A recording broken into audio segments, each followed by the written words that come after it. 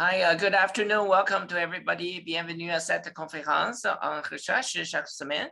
And uh, just uh, uh a few uh, logistics uh, before I think our really exciting and futuristic talk today from Dr. Emilio Alarcon. And so just remember that you can pose your questions throughout the lecture using the Q&A feature on the bottom of your screen and we'll answer those questions uh, in turn as the, uh, the uh, lecture concludes. And you can also raise your hand and so you can then pose the question directly and we'll bring you into the uh, chat uh, and the, the Q&A in a live setting. And, but if you have any technical problems, you know, please use the chat function and Kelsey or Allison will be able to get you linked in without problems. And so it's absolutely delight today that we uh, feature uh, one of our uh, star researchers, uh, Dr. Emilio Alarcon. And uh, he's a scientist in the Division of Cardiac Surgery and Director of Bionanomaterials in the Engineering Laboratory here at the University of Ottawa Heart Institute. He's also Associate Professor in the Department of Biochemistry, Microbiology, and uh, Immunology in the Faculty of Medicine at the University of Ottawa. And uh, Dr. Alarcon was born uh, in Santiago, Chile, which is a beautiful city. And then 2005, received his BSc in chemistry under the supervision of Professor Alvaro Lissi at the University of Santiago, de Chile. And at that time, he was exploring the chemi uh, luminescent mechanisms of tryptophan oxidation. And uh, thereafter, Dr. Alarcon moved to Pontificia Universidad Católica de Chile, to pursue as a graduate studies. And I should mention that that is a, a super top university in Chile and uh, uh, worldwide as well. And so he received his MSc in chemistry uh, in 2008. And one year later, uh, in uh, PhD uh, in chemistry was a dissertation on oxidative mechanism of proteins mediated by reactive oxygen species. And then Dr. Alarcon moved to Ottawa and uh, to start a postdoctoral fellowship uh, with uh, Dr. Uh, Tito Scaiano uh, in the Department of uh, Chemistry at the University of Ottawa. And there he explored the development of new bio nanomaterials and both for health treatment applications as well as biosensors. And uh, certainly we had a lot of, you know, very exciting discussions on various uh, uh, opportunities for collaboration. And he was uh, recruited to the Heart Institute 2014. And uh, the research since that time has been nothing but uh, momentous and amazing. The research is focused on the fabrication, development, and the implementation of new materials with regenerative capabilities for tissue regeneration repair for the heart, skin, soft tissues, and uh, many uh, more additional uh, applications. And his work is always uh, on the uh, cutting edge. And uh, so these materials can not only promote repair of tissues, but they can also conduct electricity and nowadays can also heal without the scar. And so it's really uh, very much uh, on the um, uh, front uh, wave of this uh, whole field. And, uh, but on the other hand, Dr. Alarcon also applies this technology to solve problems on the dime. You know, for example, during the early days of the pandemic, when we actually were short of N95 masks, Dr. Alarcon's laboratory immediately developed and perfected solution uh, using um, refashioned uh, uh, you know, materials from his lab and was able to actually get the protocol approved by Health Canada on a rapid basis and uh, had the result published in scientific reports in just a few months. And it really actually illustrates, uh, you know, the ability to solve problems uh, really through innovation. And he has to date published over 83 articles in peer-reviewed journals, and he's edited two books as well. And the books are on regenerative medicine and nanomaterials, and really, again, really exciting and cutting edge area. He's a, a, also associate editor for the journal Frontiers in Biomaterials. And this lab is currently funded by NSERC, uh, uh, CIHR, and uh, but also very importantly, the NSERC Collaborative Research uh, program, which is the CHIRP program, you know, very, very competitive. And also New Frontier uh, Research Fund, again, extremely competitive, but also underscores innovation. And most recently, he's, he's won a number of awards, but most recently he won the Nano uh, Ontario Award for Outstanding Early Career Achievements in Nanoscience and Nanotechnology, and he will deliver the award lecture on March the 17th. And so you can see that this is really an exceptional uh, journey of uh, research Dr. Alarcon has undertaken. This is but just a small fraction of uh, what he does. And today we really look forward to another very exciting uh, topic, nano painting of an infarct heart. Take it away, uh, Emilio. Thank you.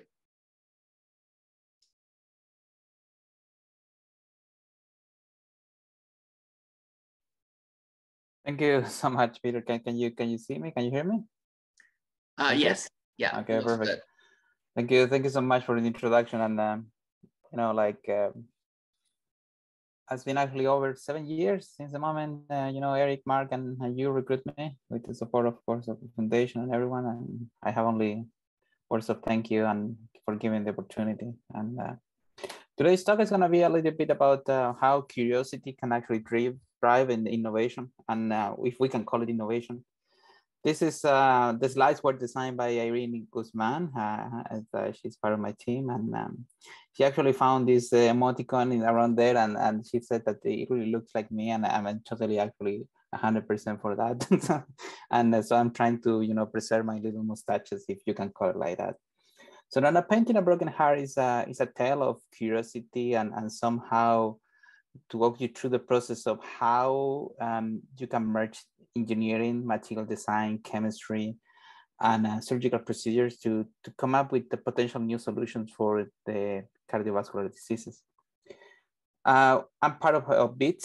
BIT is the Bioengineering and Therapeutic Solution Labs. Um, this is an acronym that Dr. Suuronen came up with. And this video is somehow uh, intended to illustrate what we do in the lab and um, if you can hear the audio, this is original actually soundtrack from the Dr. Suuronen's uh, music band. It's a beautiful, I highly recommend it you. And uh, are more information in our website. And what we do is uh, we're integrated lab. Uh, we are intrinsically multicultural and um, inclusive at the same time. Um, we're really proud of how we are able to structure this innovation together with uh, with taking into account all the, the different views, you know, to solve real problems, you need to really have more than with discipline, and, and this is something that we do uh, fairly well at the in the team. I'm really proud of that. So something we're all very familiar with, one way or another. You know, we work at the University of Ottawa Heart Institute, of course. Um, is that the problem we still have is cardiovascular diseases are the leading cause um, and mortality worldwide. This is from the stats we have available, of course. And developing countries, you know, like places in South America, they don't even actually keep track, track record of, these things. And many patients, they, they live a long life with the, with cardiovascular diseases they don't have access to healthcare. So the numbers probably are, are worse than this. But in Canada, particularly over half million Canadians are living with advanced heart failure. That uh, is, um, we know that um, the prognosis is not good. So when I was recruited by the Heart Institute, and uh, I had the, the, opportunity of being uh, still being mentored actually by Eric and, and Mark, of course, um, uh, we set it up um, a goal. the goal is was developing translational uh, therapies for cardiovascular disease for treating these damaged hearts. Uh, so in the process of learning from you know heart physiology all the way to um, how to deliver these therapies has been actually truly an, an endeavor of, of of relearning everything. You know, I'm a chemist. I was trained as an industrial chemist for flotation, lixiviation, and everything that you can imagine for minerals. Mm-hmm. Um, then I learned protein chemistry, and I became a little bit of in the middle in, in nanotechnology. So uh, the journey has been not uh, easy. I mean, like many many years of work since 2014. And uh, we were fortunate in uh, developing this injectable material that technically you deliver is based on type 1 collagen. So um, recombinant human collagen, so you inject it within the, the infarct area, in the border zone of the infarct area. And what you can see here is the recombinant type 1 collagen improves the cardiac function in this, you know, a small animal model of myocardial infarction. Compared to the PBS, that you can clearly see a decline. There is another type of the type of collagen, which is type, type 3 collagen that is basically stabilized function after. So we published this in 2019 and in 2020, uh, Eric, um, of course, Eric and I, that always Eric, you know, leading this, the biology part and more the materials guy, of course. Um, we, we reported that injecting more is not better, right? So we learned from here is that we can inject it and the heart it does better, but if you're injecting more of the type 3 collagen, that is the one that is being degraded very quickly, it doesn't actually do much better. So injecting more is not better. So when we reach at this point with Eric and um, with the team, we start questioning, we start wondering how, how does it work? You know, do we really need the full length collagen? Can we do the same with the small a minimalistic point of view, like a minim minimalistic approach of using peptide, the small building blocks, something that we can do, right? So um, last year, um, no, two years ago, before the pandemic, uh, okay, this is before pandemic times, uh, we established a collaboration with the Dr. Peggi Angel in North Carolina University, South Carolina University, and uh, she is uh, one of the leaders worldwide in in advanced uh, proteomics and you know and mass spectrometry uh, in imaging mass spectrometry. So what we did basically, we sent her the different slides of, of the tissues that were actually being recovered and you know having some regain in the cardiac function. And what uh, she did with the help of our advanced peptide synthesis services we have in here at the Heart Institute, uh, led by, by Ben and I, Benjamin Rotstein and I. Basically what she did was able to map where the different uh, differential protein uh, peptides were expressed. And this is not a, a, minor finding. Basically, what she's kind of like thousands of different candidate peptides. She was able to differentiate what was coming from the animal and was coming from the actual collagen we injected in here in this study.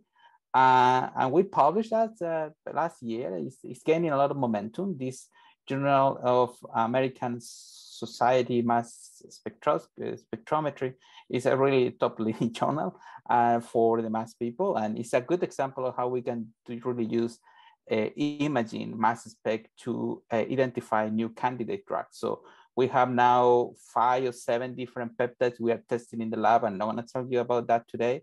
But these peptides are derived from the collagen we're injecting, and they do seem to have actually some uh, really powerful biological activity, particularly pro-angiogenic and, and, and helping the cells to differentiate better. So, so we were actually puzzled with that. So now we like, we, we say, okay, let's try to use peptides. Okay, let, us try to start moving to peptides. So a couple of years ago with Ben, Erin, and, and many other applicants, we were, we were able to secure some RTI fundings from NSERC. So we have a peptide synthesis facilities and, and Ben is certainly actually pitching in everything that is from, uh, you know, like the mass spec system and, and also helping us with all the characterization. Of course, Dr. Marcelo Munoz has been instrumental to, to set up these facilities and having it up and running. But before that, in uh, 2017, 2016, um, I had the opportunity of co-supervise Dr. Katsuhiro Hosoyama with, uh, with Eric Suuronen.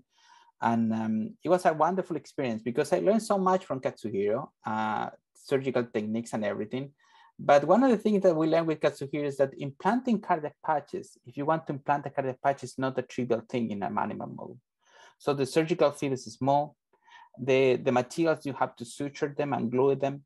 So the data we were actually obtaining, it was good, of course. In this particular case, what we did, we developed this hybrid material that is a sandwich, right? On the surface, you have the fibers with this nano electric conductive uh, gold. So we, we are we were putting gold in there, nano gold on the fibers, collagen fibers, and then, but before implantation, you have to sandwich it in a with a hydrogel, so it's elastic. And Katsuhiro spent like probably 18 months just optimizing the surgical procedure plus what hydrogel you're gonna actually use it for sandwich. It was uh, painful and we obtained a nice publication. It's actually gaining a lot of attention from the, in the field. And basically what we found is that you can improve the ejection fraction when you are using the combination of everything. So you have to have the nano gold, which is electroconductive. the collagen fibers plus the sandwich, which is the, which is the, you know, the, the hydrogel. So you are improving the cardiac function in this animal model that uh, after seven days of MI. But, uh, but it's difficult. I mean, it is difficult and cardiac patch implantation is not trivial. And this is one example. There are many examples, you know, groups in Toronto, uh, you know, Santerre's group and uh, Milica's too, and in Toronto too, they've been doing that for, for decades. And it is challenging. The surgical procedure is challenging itself. So um, in discussions with Chala and, and Marcelo, we, we, we acknowledge this, and of course with Eric as well. It is a difficult procedure, right? And it's not alone. I mean, injecting also is invasive. So, I mean, you're perforating the, the, the muscle and it can induce some inflammation as well after the injection. That's true. The cardiac patch implantation is challenging. We are aware of that. It's not easy. I mean, it sounds easy when you are the PI and you're not doing the surgery, but it's easy. The struggles are real.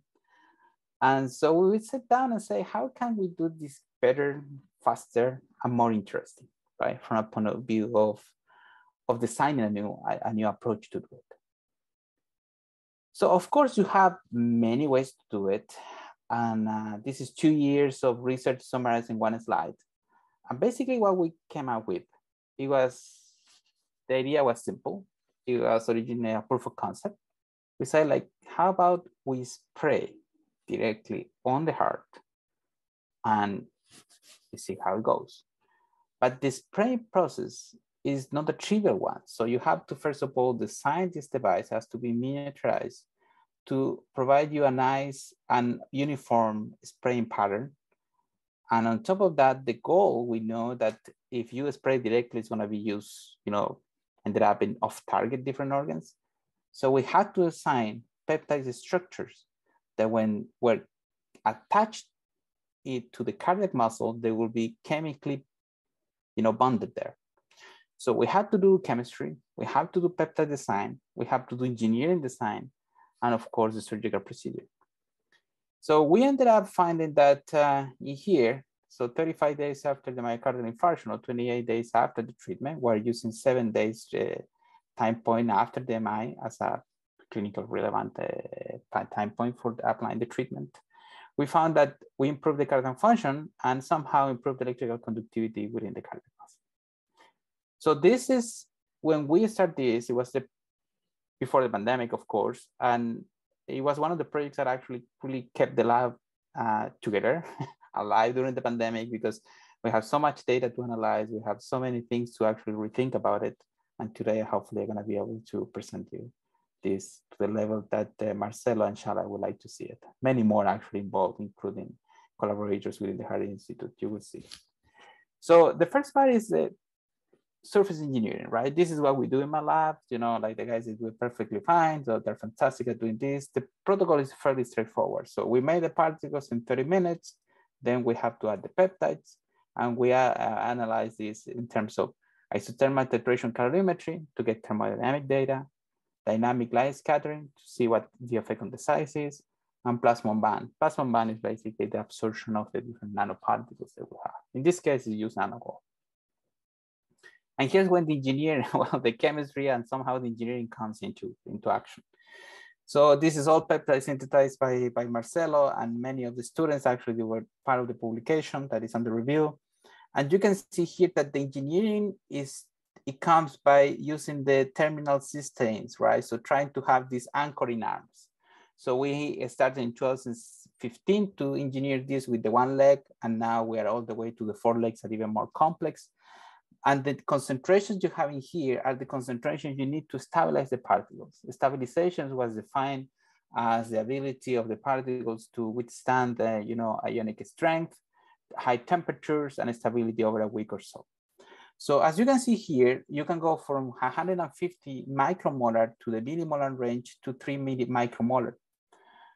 But the beauty of using the approach of the spray on is that we want to spray really low quantities. Like when you're nano painting, when you're painting with the spray, you're, you're having, you have to use really small quantities to cover a large surface area.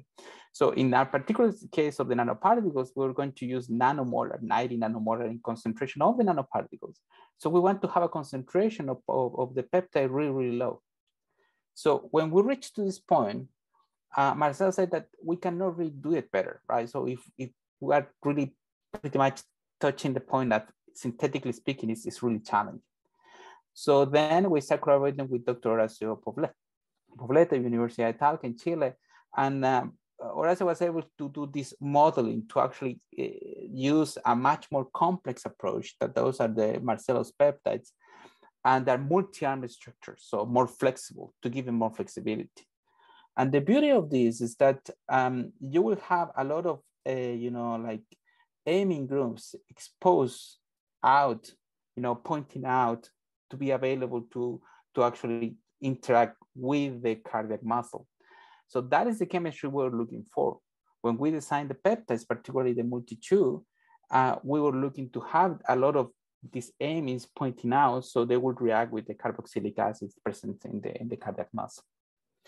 So, and when we identify this peptide, uh, you can see that the concentration you need to stabilize it is really low, it's 0.5 micromolar.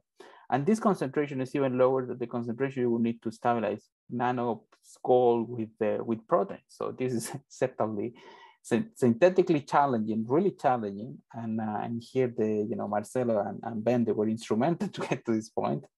Uh, but it's fairly actually uh, effective and it's highly effective. So then it comes to the point to optimize the spray-on device. The spray-on device was an engineering beauty uh, developed by Maxim in my lab and, and two summer students, and of course with the input of everyone else. And this is a really tiny uh, spray, uh, spray system. We call it the nozzle, really tiny, two centimeters.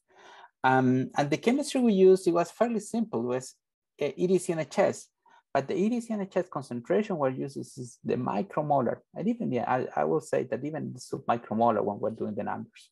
So that is excellent because you're using four microliters, we're loading with only four microliters again, four microliters with micromolar concentration. So technically you are delivering really, really low quantities of, of the compounds. So and you have the peptide solution, you add the nanoparticle, you mix it, and when you mix it, you add a little bit of the EDCNHS, and you load the gun, man, that's it, you spray it. So now we have to, of course, optimize it. Remember that I was mentioning to you that we have to have a homogeneous pattern. And what we did, we put the nozzle at different distances from the target. So four centimeters, two centimeters, and one centimeter. And you can see here that the one centimeter one is the one giving you a really nice diameter coating. And uh, when you are again investigating this, just to give you an example, uh, what happened because you know the gold is kind of pinkish. So with no spray, you see no absorption, there is no color. And when you spray, you start seeing the plasmon absorption in there. And just to give you an example, this is with the spray and this is without the spray. And you can see the pattern in their cover. So the coating is, is happening. The coating was possible to be made using this nano-engineered peptide and, and the chemistry we're using a really low concentration. So everything was pointing that, okay, so I mean, like we're doing this and let's see how it works. Of course, before doing the in vivo, we did a lot of in vitro, so, but I'm not showing this in here in benefit of the time. And cells are doing fine, you know, they're happy, they're just proliferating fairly well. So the animal model, again, this is uh, Eric's uh, input, of course. So we induce the MI after seven days, we do the, we open chest, and we do the, the spray on and we monitor up to 28 days. This is a little bit of how actually the gun looks like. This is the, the spray on system and this is the open chest, the left ventricle, and you have roughly one centimeter uh, to, to the actual cardiac muscle, to the left ventricle. So what happened? So in here you will see the multi, that's the one you have to be worried about. We also use the four legs that is supposed to be the previous generation. And with the gold, AU and P means the gold nanoparticles in there. So you can see here that only the multi was able to improve the cardiac function in terms of LV ejection fraction compared to the other groups. Okay, uh, this is our box plot. So we have a sample size that is adequate to do all the ANOVA comparisons, so but you can clearly see that. Now, in terms of the muscle contraction, so uh, we use longitudinal strain analysis. And again, only the, the multi-arm is able to reach values. These values in here are the one that you will find in terms of the contractility of the sham group. So uh, that uh, the multi is different to all the others. It's much superior in terms of contractility and is close to what you will find in the shams. So that, that was really interesting. And certainly, to be honest with you, was unexpected. We were expecting this use to stabilize the heart, but for some reason was working really well. So when we reached this point, of course, we went to see Daryl and said we have to do some you know, super cool ECG data, EEG, and um, uh, we did this, and with Daryl's guidance and supervision, of course, uh, we found this. It was again really puzzling at the time of when you're looking at the at the let's say you can really see here that the the sham is pretty much overlapping to somehow with the multi uh, treatment. Uh, this is after 28 days. So it's fairly interesting. In all honesty, it doesn't happen right away. Um, we have data every time points. We don't really see that. We see a lot of arrhythmia, but still at 28 days and endpoint, you can really see a better in terms of behavior in terms of the, the conductivity. And um, we measure, well, Marcelo and Chala, they did a lot of data processing under you know Daryl's guidelines and, and the guidance, and it was really a massive amount of work um, and of data processing. And basically, what they found is the QRS interval is reduced only for the multi uh, compared to the other excellent groups, with values again somehow close to the, what you would find in the sham healthy animal. that was interesting, right? So I mean, like, eh, imagine you are just spraying this, and the spray takes so quickly. I mean, it takes like less than 10 seconds. Is is all what you need to do before you have to actually have to put the patch. You have manufacture the patch, put the patch, suture the patch, glue it, and close it. And in here is you open the chest, you locate the infarct area, you spray it, and then you close it, and that's it. Of course, you have to actually open the pericardium just to, to get a nice spray. But uh, but it happens. I mean, it happens so so so so quickly that this is certainly a technological improvement. So, but as everything, nothing is perfect, and we were fully aware of that. And of course, after you spray this nano gold, which is gold encapsulated in, you know, forming these spheres, nanospheres, it can, you know, go off target to, into different organs. So we did this, and you have to follow me here. So you have the one you have to be worried about is this one versus this one in here. This is the multi with the gold, and this is just the gold alone, alone. So what you will see here is that we collected the different uh, 28 days, we collected the organs and we separated remote in remote area of the left ventricle, the heart, and the left ventricle itself. So with the left ventricle itself only, we see that there is a lot more accumulation of gold. So the gold, the gold is being retained, which is what you were expecting if the chemistry was happening and everything was just on the heart, on the cardiac muscle. Um, the remote, you see some trends of when the gold is alone is just, you know, just increasing there, is just dispersing, which is fine, but it's not statistically significant. Now, when you are looking into the lymph nodes, that is the one that now we're gonna be looking at, you will see that both in the case of the four legs and in the case of the multi, you will see that there is pretty much nothing in the lymph nodes compared to the gold alone. And that makes sense to what the literature is reporting that the off-target of gold, unprotected gold nanoparticles, they ended up in the lymph node, they ended up in the kidney.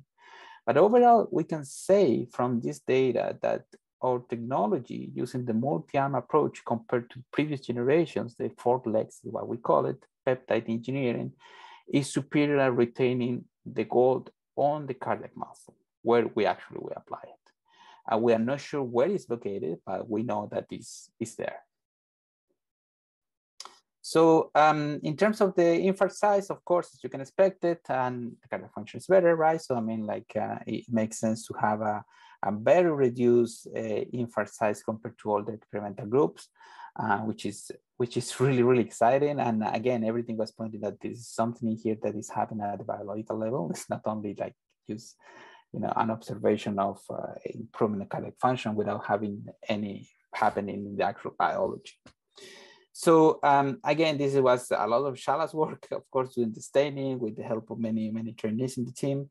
And uh, what we observing here, which is interesting for, for us to pay attention to, now we're comparing the multi with the sham. That was a request from one of the, the reviewers, of course, as you can imagine. Um, so when you're comparing the multi uh, gold nanoparticles with the sham, you can see that um, you know there is nothing. The the number of capillaries are not reaching significance, but they're you know somehow overlapping. But uh, when you're comparing the multi with all the other groups, they are you know certainly statistically either higher in the capillaries or higher in the number of arterioles. So uh, it seems to be that it, within the infarct there is somehow better you know perfusion of blood. There's growing the blood in growth blood in there which comes along with the with okay the, the heart is function better so we have to have some better vascularization now in terms of uh, of macrophages that is something that we're also interested in um, the number of macrophages uh, in the the pro-healing macrophages for the multi which are the CD206 are higher compared to all the experimental groups and they're somehow um, they're at 0.002 uh, compared to the sham. So that, that's okay, but still there's somehow a more pro-healing environment. And that is, you know, it comes along well with the reduced number of CD86, the pro, you know, pro-inflammatory macrophages market that we're looking into. And particularly in the case of the, the, the CD86 macrophages, positive macrophages, you can really see that the p-value are comparable between the multi and the sham. So the levels are really low, normally what you would find in a healthy in a healthy tissue. Again, so everything was pointed towards that. I mean, like things are looking fine. I mean, the, the heart is working better. And um, how does it work? Um, we don't really know yet. Uh, we have data in terms of uh, of connexin 43, that the connexin 43 numbers are increasing in the animals treated with the multi-gold nanoparticles. Uh, we have um, data also in terms of, uh, of troponin that is also increased for the for the multi uh, nanoparticles treated animals. But uh, we are looking into this not in terms of the mechanism because it will take us another four or five years. But we believe that there is a synergistic effect between the peptide, that the peptide is positively charged, it could be actually be incorporated more easily within the cardiac muscle and at the same time is retaining the nanogold within the cardiac muscle in a, in a preventing degradation and preventing that to be oxidized. So it's, it's a nice coating, but at the same time it's attaching that. But also it could be that the retaining the gold within the cardiac muscle is somehow reducing the oxidative stress levels that we are observing in the animals, in the cardiac muscle, in the, in, in the infarcted tissue that it could be something related to prevention, uh, preventing the formation of uh, advanced oxidative products, like something that Dr. Suuronen has been studying, uh, recently published uh, last year. Um, so Uh, there are a, a gamma of possibilities in here. But in our case, we were fairly interested in how a simple approach, which in reality, when you're comparing to the implantation, to the injection, with the exception of the open chest surgery, of course, it can really lead you to to have this, you know, we have to engineer the material, of course, we have to engineer the peptide, finding the optimal conditions, you know, doing tons of work in that, in that, in that realm. But at the end of the day, we're able to develop this technology that when you apply it, it's faster, it's technically cheaper. It might not be fully translatable to humans because, you know, electrical conductivity in the cardiac, the, the heart muscle of a human, it happens different than in a, in a mouse. But but in any case, I think that it has value in terms of we set it our, ourselves to, to solve this problem in a faster and an easier way after seeing all these troubles that Katsuhiro actually had to endure over two or three years working with us. So this is of course not the only thing you're working in the team. So we're working a lot on peptides as you can imagine. So we're truly working hard on peptides. Uh, for soft tissue and organ on the spot, we are working on the spot technologies. We don't want to actually manufacture things outside, we want to on a spot repair. And uh, we're thinking about bioprinting. We're working a lot on that. Light activity material for skin and cornea repair is something that uh, we're also working on. We are working with a group in Montreal. And in skin, we are hopefully having a paper published very soon. Um, we uh, do a lot of 3D printed devices uh, uh, for ex vivo models, in this case of biofilm. We're working on cornea, but uh, hopefully we can expand it to skin and different even cardiac muscle biofilm formation. And um, this is a project led by, you know, Marcelo on the spot bioprinting of blood vessels for, you know, through Oracle. Really ambitious project and with the collaboration of Eric and, and Dr. Well as well. So I don't want to actually leave without just giving a little bit of uh, of an update on, on two projects we have uh, running through BITS, which is one is BIT Radio, and we are in our third year. This is episode 101. uh, we are always looking for uh, PIs who want to actually share what they do in different languages. We run in English, French, Spanish, Mandarin, uh, Arabic, and, and Portuguese. So if, if you are a PI, particularly young PI, want to share what you do, your experience, so please send me an email. I'm more than happy to set it up an interview with one of those hosts in any language you speak, as long as we have a host. And uh, last year we launched these uh, curiosity capsules. They are, you know, like a science communication endeavor dedicated uh, for, you know, spreading the word on, on, on innovation and technology by women in Canada or around the world from uh, underrepresented minorities, immigrants, or you know, like uh, particularly women in STEM engineering. So um, again, this is something that uh, uh, run through volunteers. I'm the one doing the, all the video editing, but the volunteers are just fantastic. I'd really like to have them on board with the support of the Heart Institute and the Department of uh, Biochemistry, Microbiology, and Immunology. So again, if you want to be part of this, you send me an email. I'm more than happy to set up an interview. And uh, I wish I had a picture of the team, but we don't have any pictures. Last picture we have in person was two, two and a half years ago. I don't like some pictures because I think we all had enough of Zoom for some time. But uh, just to thank everyone and involved in this, so maybe I missed some names. I'm not really good with names, but particularly, you know, the constant support from the Heart Institute and all my collaborators within the building and the students. I mean, they've done everything, you know, Marcelo, Shala, Maxime, Alex, and, and everyone, Aidan. So, so, so many names, and, um, and I don't want to say them all because probably I forget someone. And I will be happy to try to answer your questions because I cannot certain that I'm going to answer all your questions. Well, thank you so much, Emilio. Fantastic uh, presentation. You know, as always, uh, very forward-looking, amazing results. Uh, uh you know, that's uh, always the uh, impressive aspects. And thanks very much also for the doing the BITS Radio, you know, amongst so many different things you do, you know, this is one that really reaches a very, very broad audience. You know, it's truly a knowledge translation uh, uh, de force. And I think uh, folks like uh, uh, NSERC, uh, you know, presidents and Mona Nemer and many others, you know, have been very much enthusiastically participating in your programs, you know, and so congratulations again on hundredth episode, right? Now know, 101 is coming up. So this is fantastic.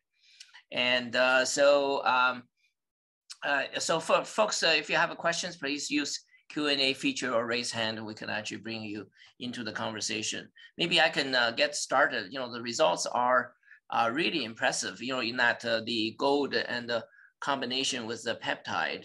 And uh, so I know you're working on the mechanism at the moment. Uh, do you have any idea, uh, I guess, in terms of where, I know some of them, you know, does end up in the local lymph nodes, but, you know, in terms of in the myocardium, are they in the interstitium or are they in the uh, myocytes or are they in the fibroblast, uh, you know, as a, a, clue? Because I have a kind of a follow-up question as to, you know, what uh, could be a mechanism. Yeah. So we tried to do cryo TEM that it, we don't have facilities in here in Ottawa. Of course, we had to send it to Mac. And uh, we have some data, but the issue with the cryo, even from the technician, uh, it is really difficult to see the size of the particles we have. We have particles of 20 nanometers or even 10 nanometers or super tiny. Um, even we're pushing their boundaries. So I mean, we have some evidence that they're within actually the cardiac muscle. Mm. Uh, a specific area is not really well defined, but they're somehow in the outer portion of the cells that are not fully integrated. But again, I mean, this was from one of the sections that uh, she she located, and, and she was really honest with us. And like with this, I think that we don't have the capabilities in Canada probably to do this, so you will have to send it to the states. Um, but yeah, I mean, uh, the one thing we know is that uh, the concentration we're using, Peter, is a thousand times lower than the, any concentration that reported in the literature. And I think that the advantage in here is that we don't do intra, you know, intravenous injection, we don't do intramyocardial injection, use the coating of the heart. Mm-hmm. And with this small volume, and, and I think that was one of the things that really attracted the interest of the editor at the end of the day. Yeah, absolutely. Yeah, I think the safety aspect, you know, is a real advantage here. Uh, you know, before I ask uh, kind of my follow-up question, Rob Beanlands does have, uh, you know, one is a comment, you know, in terms of the great uh, quality of the work. Uh, he had a question in terms of uh, uh, whether any of these particles are visualizable, for example, on CT or MR or PET. I think there is a way to do it uh, with if you do a coating with uh, with um, with iron or something like that, or if we use one of the probes from from BEM maybe. Uh, but the key here is that the concentration is so low that it will be trial and error. But uh, but that is the beauty. I mean, in, in, from my point of view, that the beauty is that that uh, compared to the cardiac patch, even I tried to to actually suture once, and it was it didn't actually go very well. so uh, you have to really skill. And this case is just spraying, and, and and that's fairly innocuous to me. Yeah, so I agree. I think uh, the concentration, uh, even though it's gold, but it's uh, a concentration is probably at least two orders of magnitude, you know, lower that's detectable Mm-hmm. And uh, you know, with uh, with uh, MR, for example, or any of these uh, tools, oh, or CT, sorry. Uh, but uh, uh, but you know, in the future, maybe uh, some kind of PET uh, uh, tag or something like that. Mm-hmm. Yeah. Mm-hmm. Uh, but uh, that's a you know that's an excellent uh, question. Yeah. So um, yeah. So uh, yeah. So so Rob was asking about you know possibly tagging with uh, some mm-hmm. isotope that uh, could be detectable. would be uh, opportunistic. Yeah, I agree. And uh, so my follow-up question is, uh, you know, and this is really fascinating in terms of the mechanisms. And I wondered whether the combination of the gold, uh, you know, because gold is otherwise inert. Oh, sorry. Oh, oh sorry. Uh, it, gold is otherwise uh, inert, but uh, it may actually have uh, these, uh, you know, sort of attracting properties, right? You know, it uh, uh, may um, actually bring uh, some of the uh, peptides in uh, specific configurations.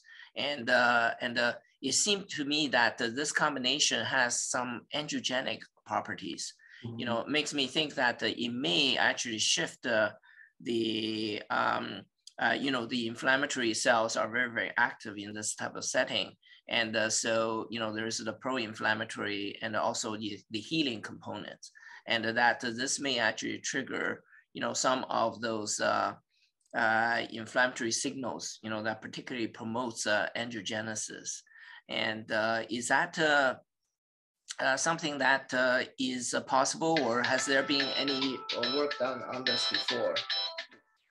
So there is literature reporting that yeah. Lower concentration of gold, they are anti-inflammatory. But ah, the, when, yes. when you're looking at the actual papers, Peter, uh, all honesty here, the mechanisms are really like not by a mechanistic person, so they're really like looking into pathways that define. Mm-hmm. And um, with with Eric, when we decide just to to to push this without the mechanisms, because we know that we will need someone in mechanisms yeah. and lots of money. Right. Yeah. But but it is interesting, and and I think that uh, I'm inclined to think that something is triggered by the gold. Maybe the gold release is low mm-hmm. concentration of gold ions yeah. that is happening just in the right place, the right moment. Mm-hmm. And that might actually be, you know, either acting as a free radical scavenger because of the oxidative environment and preventing the infiltration of additional, you know, uh, uh, pro-inflammatory macrophages. Yes. Yes. But uh, but that's one of the species. I mean. We tried to run uh, some uh, inflammatory profile markers in the blood, and we didn't see much of a difference, you know, early time points. So I think that what is happening here is that the, the, the, the gold has to be uptake before mm-hmm. do anything. And that is when you, you will see the biological effect. Yeah. Okay. So that's uh, fantastic. Yeah. Because I think uh, uh, certainly uh, we can assemble kind of a, uh, a team of experts who can actually, you know, help you to um, uh, also, you know, explore that aspect simply because the model is so you know, so impressive. Yeah. And uh, so, so what's uh, next for this? You know, because you actually have some really interesting uh, tools in place. Is it possible to actually combine, you know, sort of some of the tools, uh, you know, on the gold aspect, you know, in terms of inflammation, but at the same time, you know, you're working on materials that can minimize scar. And, you know, so there are a lot of a kind of uh, cross, uh, uh, and of course, you know, I have some of the 3D printed, uh, uh, you know, sort of uh, um, scar repair, um, you know, tools.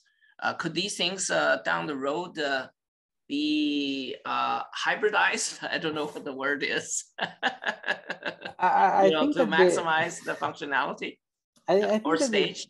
I think that the use of, of these uh, peptides as a really low concentration, it would be interesting to see, for example, combined with uh, the spray on, but no nanoparticle, nanoparticles, but you can combine with, uh, you know, soft particles, something that, you Yes. know, you can engineer the surface Yeah. to deliver something that you want to be prevented from the enzymatic degradation, so encapsulated. I think the injection is good, but uh, but in my head, uh, Yes. I, I would like to see this eventually coupled to these uh, new robots that are launching now in the states. I Mm. can't remember the name, but it's a robot that you put on the cardiac muscle and it's able to actually walk through, like on the cardiac muscle, Mm. and just doing the spray there because it's a minimum pressure. It's just doing a spray at different points and then trying to see what happens. Yeah. Um, I think that would be interesting to see. Um, I I think that the gold it it was something that we did it merely for curiosity, to be honest with you, Peter.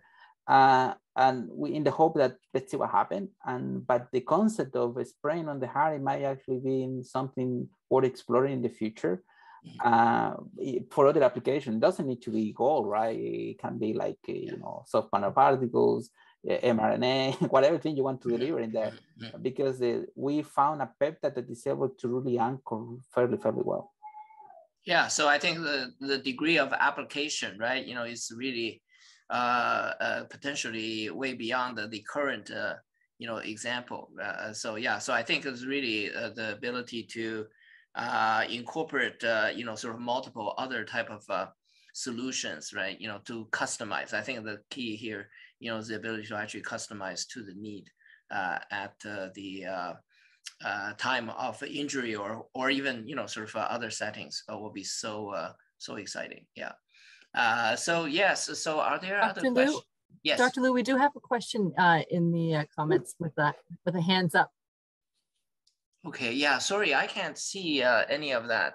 Uh, what's the best way for me to do that? Yeah, because I I I don't see that in the screen. Um, uh, so uh, so who is uh, uh, yeah? So I apologize. I can't actually engage. Uh, I think it's Jian Yu. Is that right? Yeah, that's right. So Yeah, you can Jian go Yu, ahead. are you uh, no? Are you able to unmute Jian Yu? Yes, Yeah. you should be able to hear me, right? Okay. Oh yeah, yeah, yeah. Okay, so I see you now. Yes, Jian Yeah. You are in the system. Yeah, so go ahead and ask the question, please. Yeah, I'm Jian Yu Li from McGill, and yeah, I think excellent talk, very inspiring.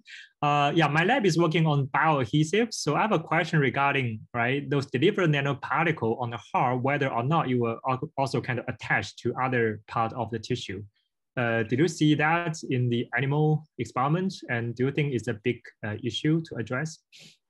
Hey, you. Um, congratulations again. Um, so, um, that's a good question. I, I think that um, if you look at the structure one we engineered, and I was going to actually send an email to you by the way, um, we have additional arms, right? So, and that is a nice point for doing additional chemistry there.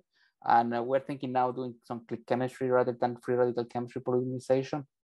But uh, but you can do that. I mean, um, I think this is uh, is somehow a, like a dendrimer like structure that it work at least in the animal in the in the cardiac muscle of the small animal. Um, I I have I don't I don't see why not it should work in, in even pigs' hearts, but it's something that we need to test. But as an anchoring point is, is ideal, but uh, but structurally, when you're looking at the design of the chemistry we use, what we wanted to do in the past when we were naive, naive. so we, we engineered to have it a photosensitive layer. So to try to do an additional coating, right? Because we were expecting this just to have a stabilization effect in the cardiac function. So we say, okay, we need something more to, to provide a mechanical support. But it turned out that it was just, it, it wasn't needed. But certainly for engineering of repair of intended organs, uh, you will need something else, an additional layer. And that is when I was going to send you an email to, hmm. to start thinking about that. Great, thank you. Maybe you can kind of spread the second time, right? Just to have another yes. layer. Yeah. Yeah. yeah, thank you. Thank you. Yeah. Oh, so that, yeah, thanks for that question. That's kind of what I was thinking earlier, you know, in terms of uh, being able to combine these different uh, solutions, uh, you know, in terms of needs. Yeah, so that's wonderful. Yeah, so thanks for that question. And, uh, you know, uh, and uh, if it can foster collaboration, that'd be even better. Yeah. are there other questions?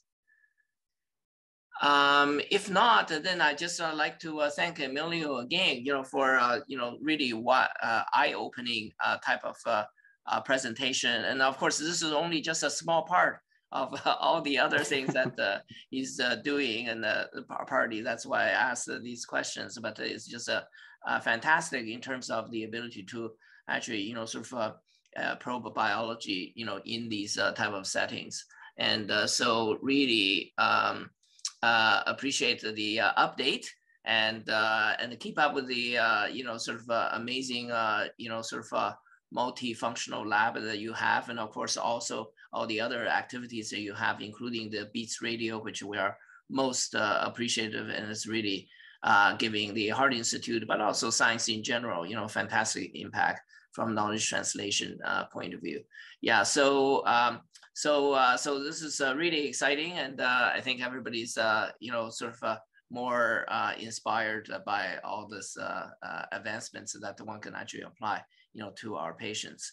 And uh, so, um, you know, look forward to additional uh, uh, uh, work from you and also your Beats Radio coming up. And for our uh, work um, uh, in terms of the uh, research uh, progress session. Uh, the next one will be on January 31st, and it's uh, going to be presented by Arvind Mer.